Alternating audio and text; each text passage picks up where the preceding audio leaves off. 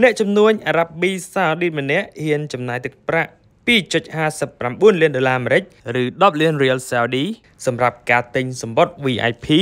ដើម្បីបានជួបតារាឆ្នាំបាល់ទាត់ Cristiano Ronaldo និង Lionel Messi នៅក្នុងទីក្រុងរីយ៉ាតរ៉ូណាល់ដូត្រូវបានរាយការណ៍ថានឹងដើរតួជាប្រធានក្រុម Saudi All Star 11លេងទល់នឹង PSG ក្នុងការប្រកួតមិត្តភាពរបស់ពួកគេនាថ្ងៃប្រហ័សស្អែកនេះ នេះអាចជាប្រកួតដំបូងរបស់ខ្សែប្រយុទ្ធប៉ូទុយហ្គាល់សម្រាប់ក្លឹបនៅមជ្ឈមបូព៌ាចាប់តាំងពីគេបានសម្រេចការផ្ទេរទៅចូលរួម Al Nassr ក្រោយបញ្ចប់កុងត្រាជាមួយក្លឹបអង់គ្លេស Manchester United សម្បត្តិ VIP នៅក្នុងការប្រកួតមិត្តភាពរវាង Saudi All Star 11និង PSG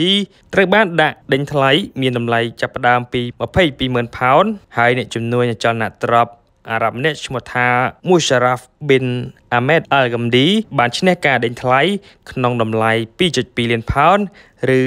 2.59លានដុល្លារអាមេរិកទោះត្រូវបានចាត់ទុកថាជាតម្លៃសម្បត្តិដ៏ថ្លៃបំផុតនៅក្នុងកីឡាបាល់ទាត់ប៉ុន្តែអ្នកជំនួយរូបនេះហ៊ានចំណាយដើម្បីបានទឹកគៀកកីឡាករឆ្នាំឆ្នាំដូចជា Ronaldo, Messi,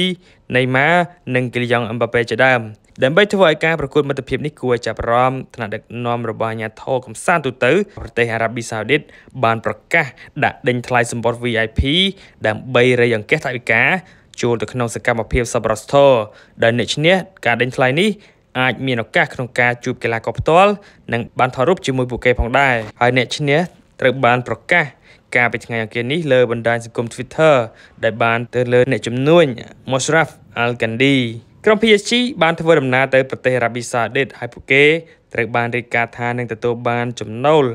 8.7លានផោនសម្រាប់ការចូលរួមនេះរ៉ូណាល់ដូនឹងពាក់ស្លាកប្រធានក្រុមដែលនឹងលេងជាមួយនឹងកីឡាករឆ្នាំឆ្នាំរបស់ក្រុម Al Hilal និង Al Nassr ទល់នឹងក្រុមការពារតំណែងជើងឯកលីកកំពូលបារាំងហើយនេះអាចជាឱកាសចុងក្រោយផងដែរដែលខ្សែប្រយុទ្ធវ័យ37ឆ្នាំលេងទល់នឹងគូប្រជែងរយៈពេលវែង Messi